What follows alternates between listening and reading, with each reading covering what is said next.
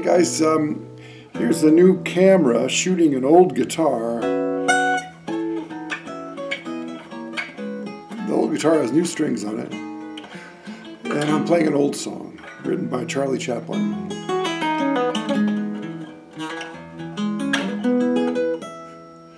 It's called Smile, and this is a 1933 Gibson L4.